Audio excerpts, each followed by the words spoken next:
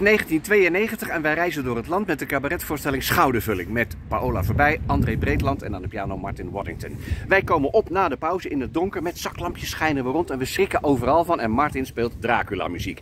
We schrikken ook van één iemand in de zaal. Ah, heel erg natuurlijk. Nou, daarna komt er een belachelijke horrornummer. En daarna gaat het licht omhoog. En gingen wij met z'n drieën op het podium die mevrouw uh, onze excuses aan. Dit had nooit mogen gebeuren. En wij vragen aan de zaal, wilt u even namens ons een applausje geven aan deze mevrouw die wij onterecht beledigd hebben. Nou, die zaal klappen. Mevrouw, gaat u even staan? Dus die mevrouw gaat staan. En uh, die begint gelijk allemaal buigingen te maken en te zwaaien. En ze van, nou mevrouw, dat is een beetje overdreven. Ga maar weer zitten. En die mevrouw die gaat weer zitten.